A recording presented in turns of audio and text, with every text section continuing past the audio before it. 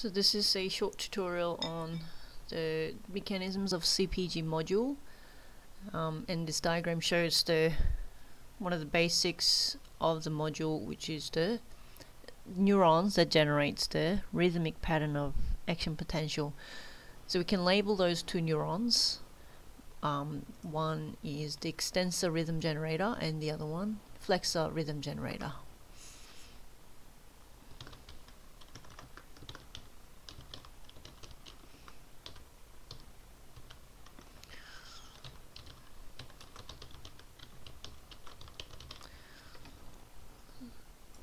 So similar to the pacemaker cells in the heart, this neuron um, can actually generate the rhythmic pattern of firing. So that here, this is flexor rhythm generator.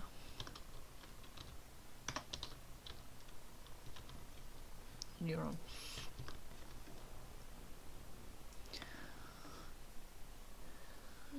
And next um, neurons we need is the lower motor neurons. So these are the lower motor neurons that has direct connection to the muscle. So this is extensor lower motor neuron. And the one on the red is the flexor lower motor neuron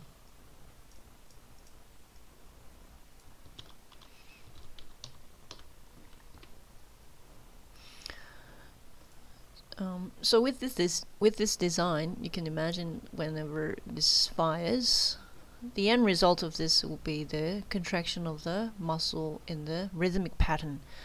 So without any further um, addition of the neurons, if you just activate those two sets of rhythm generators, you will you will see the firing of extensors and flexors um, fire in a rhythmic pattern. Um, so these rhythms are irregular in a way because they these can actually co-contract at the same time or alternate. Um, well, sometimes it might alternate, or sometimes it might co-contract. So there's no regular pattern because these are not really coupled. Um, so in order to put that function in, we need to actually put the interneurons, which acts inhibited way. So next step we need is put inhibitory interneurons. Um, so you can see there are four in inhibitory interneurons. So all of them, the end results of that will be the whenever you activate those interneurons, the axon terminal of that interneuron will release neurotransmitters. Let me just color.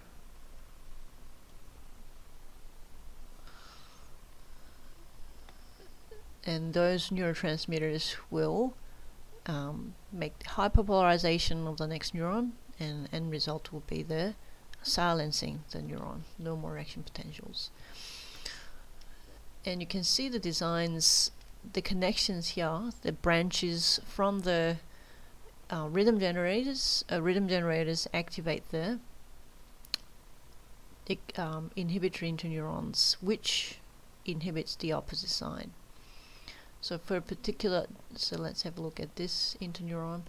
Um, so this, whenever this branch is sending the action potential signal and releases the inhibitory neurotransmitter to this inhibitory interneuron, it automatically silences the flexor rhythm generator, and vice versa. Um, so if you also see this inhibitory interneuron, um, whenever it's excited by this rhythm generator, it automatically silences the flexor um, lower motor neuron.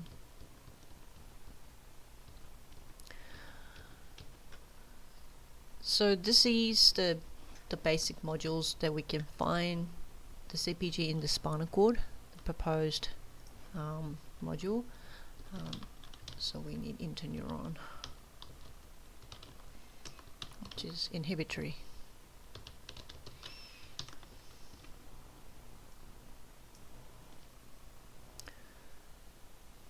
Then the final story of this would be to put the descending signal. So that's the descending signals from the brainstem area. And this is through the upper motor neuron. This upper motor neuron is our um, medial upper motor neuron, specifically reticulospinal tract.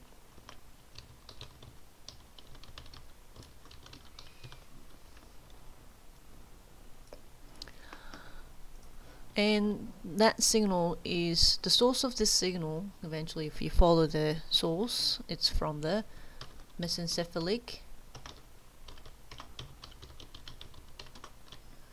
Locomotor region. And that goes via reticular formation.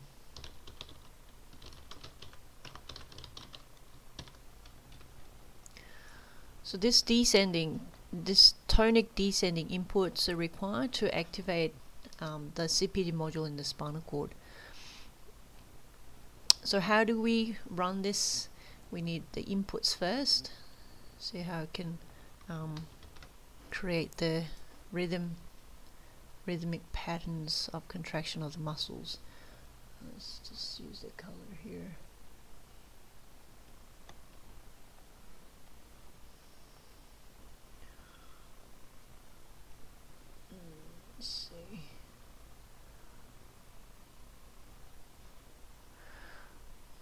So I'll just use the blue.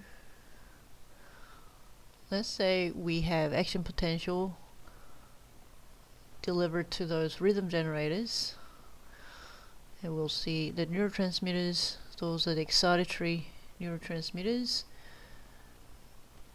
So we'll fire. And whenever it fires both so um, initially both rhythm generators will fire at the same time but the end result is because it mutually inhibits each other, you'll actually see no response to the muscle. Why? Because if you look at this, um, there's inhibitory neurotransmitters fired here. There's inhibitory neurotransmitters, and well, it actually facilitates to silence the activation of the opposite rhythm generators, and at the same time, um, this inhibitors, uh, inhibitory interneurons are activated.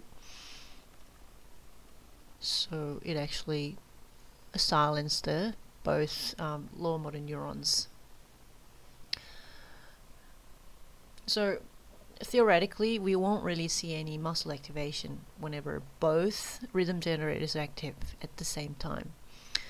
Um, after a short period of, period of time, the one of the rhythm generators will be fatigued first, and uh, the fatigue is um, primarily due to the use of all the vesicles in the axon terminal, and when it happens, so let's say this gets fatigued first.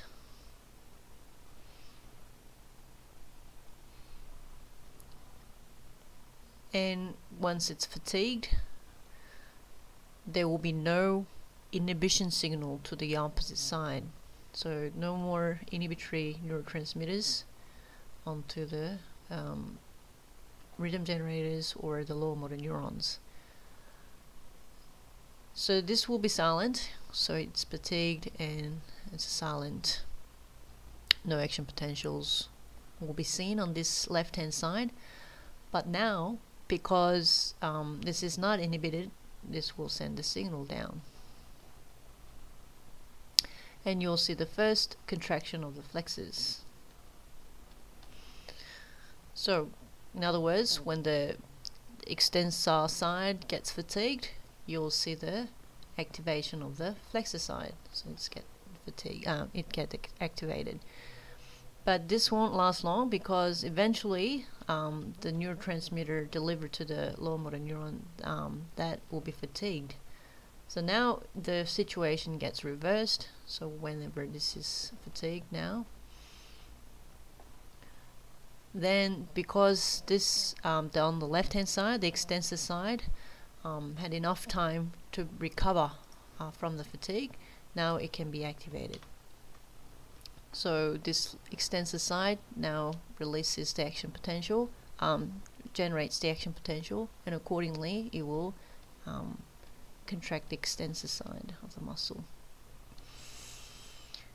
And whenever the extensor side is active, you can see um, the it also works to inhibit the opposite side. So automatically it will silence um, the flexor side. So this will be silent now. So although it's fatigued and can't really contract any muscle, it's kind of double security measure to silence the uh, flexor side using those inhibitory interneurons as well.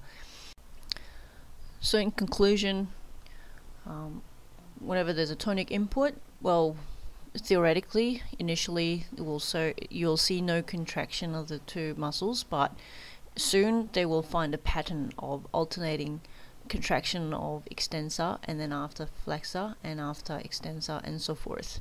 So you'll never be able to find the co-contraction of both um, muscles due to the mutual inhibitory mechanisms as shown in this diagram.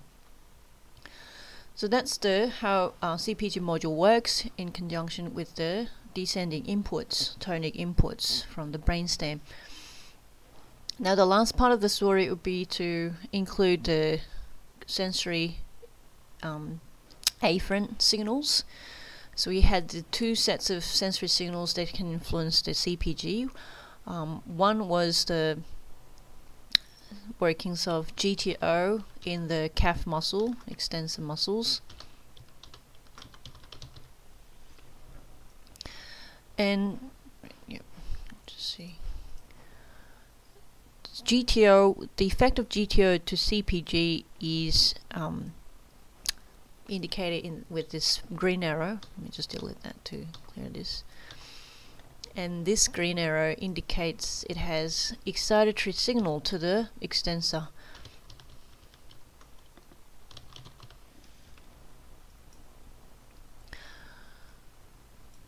And this is via excitatory interneuron which is not really shown in this diagram but it's actually shown in the tutorial notes and also the lecture notes.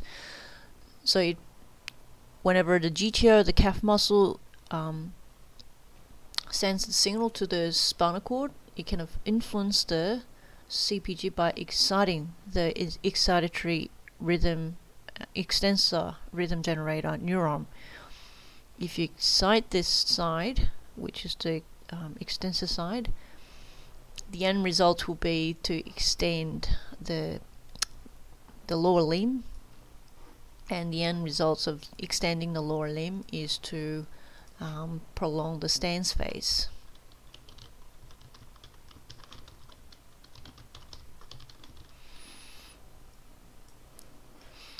So you can link the excitatory input from the GP, um, GTO to the prolonging of the stance phase. And other input is our muscle spindle and muscle spindles in particular from the hip flexors and the effect of activating the muscle spindle in the hip flexor is the inhibitory input to the extensor rhythm generator. So it's the opposite to the Golgi tendon organ. No, it's inhibitory input, and this is via inhibitory interneuron in this in this circuit in this pathway.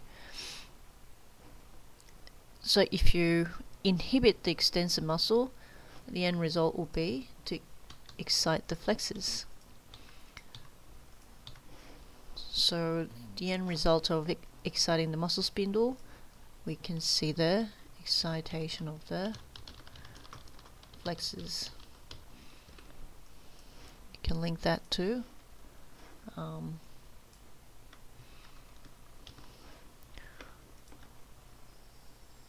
now this is related to excitation of the flexors if excite the flexors that means um, the swing phase will occur. And in particular when for example the decerebrated cat uh, was in the stance phase and this muscle spindle input um, was delivered to the CPG it will stop the stance phase and move to the swing phase so it actually um, the end result of that will be to make the transition quicker transition between phases, swing to uh, stance or stance to swing phase becomes more rapid.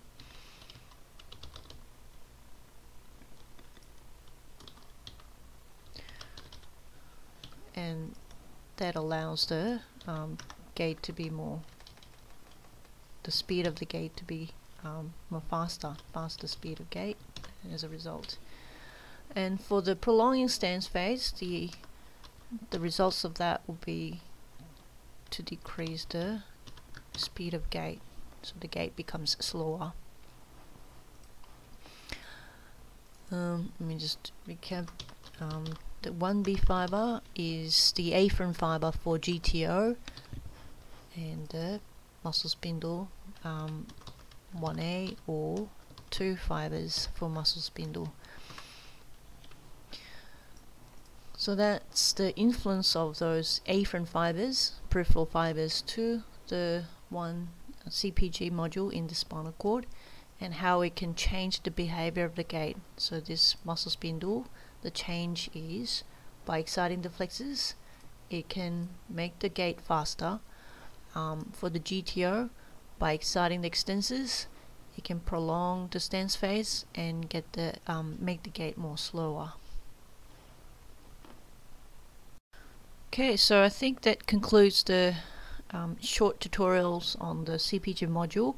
Um, if you're not really, still not quite sure um, or a bit confused about those modules, um, just email me or ask me questions during the tutorial classes